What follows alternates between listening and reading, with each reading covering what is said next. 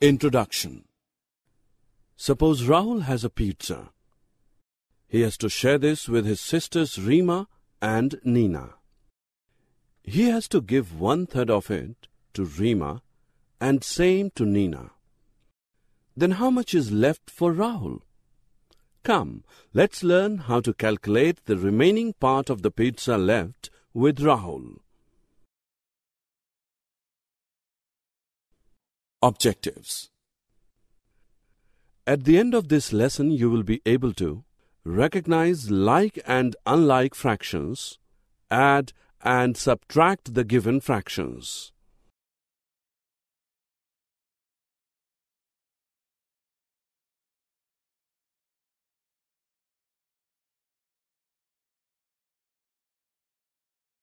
Fractions such as 4 upon 8, 6 upon 8, 7 upon 8, 1 upon 8 with same denominator are called like fractions. Fractions such as 1 upon 4, 3 upon 5, 7 upon 8, 9 upon 11 with different denominators are called unlike fractions. Looking at the question we earlier asked we can say that each of them, Rahul, Rima, and Nina, received one third part of pizza. Notice that this is also an example of like fractions.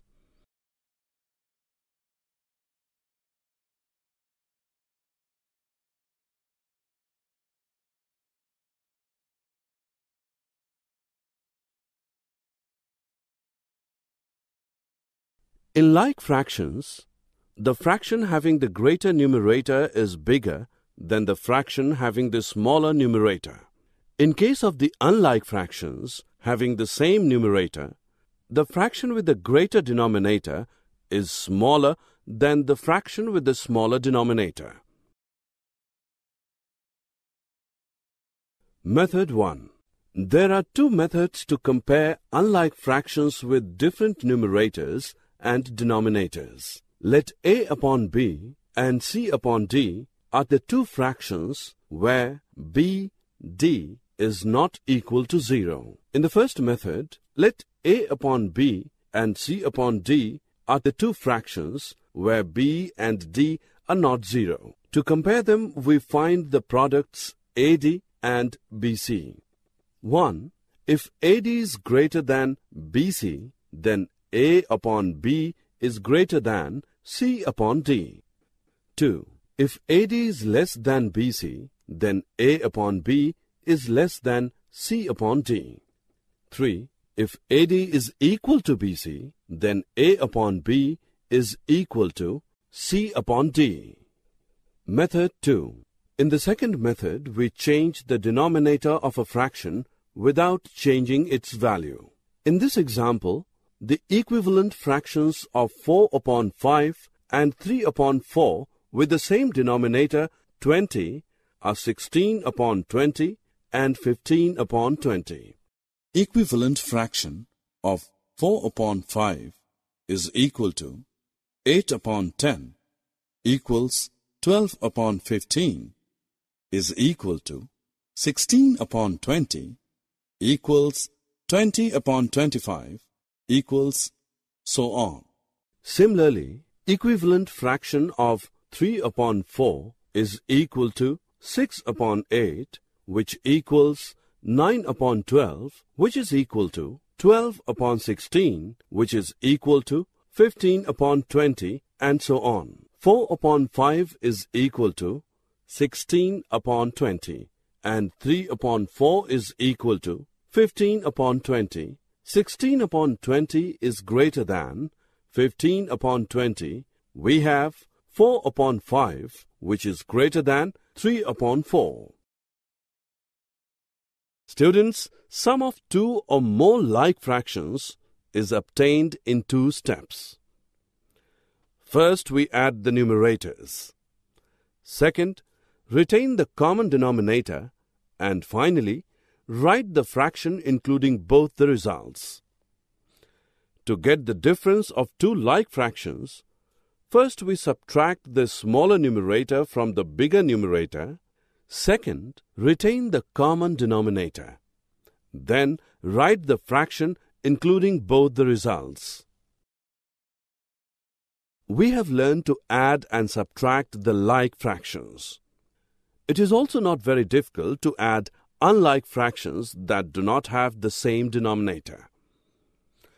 When we have to add or subtract these fractions, we first find equivalent fractions with the same denominator and then proceed. For example, 3 upon 7 and 1 upon 4 are two unlike fractions. In order to add them, first we find their equivalent fractions with the same denominator. These are 12 upon 28 and 7 upon 28. Note that 28 is the least common multiple LCM of 7 and 4. In another example to find subtraction of unlike fractions, first we need to find equivalent fractions of 3 upon 4 and 1 upon 3, which have the same denominator given by the LCM of 4 and 3. The required LCM is 12. Therefore, the subtraction of 3 upon 4 and 1 upon 3 is 5 upon 12. Mixed fractions can be written either as a whole part plus a proper fraction or entirely as an improper fraction. One way to add or subtract mixed fractions is to do the operation separately for the whole parts, and the other way is to write the mixed fractions as improper fractions and then directly add or subtract them. Summary Let us summarize what we have learned. Fractions with same denominator are called like fractions. Fractions having different denominators are called unlike fractions. Like and unlike fractions can be compared by two methods. For addition of like fractions, first we add the numerators, secondly, we retain the common denominator, and finally, write the fraction including both the results. For addition of unlike fractions, we need to find equivalent fractions which have the same denominator. Addition or subtraction of mixed fractions is performed by operating separately the whole parts and fractional parts. Other way is to write the mixed fractions as improper fractions and then directly add or subtract them.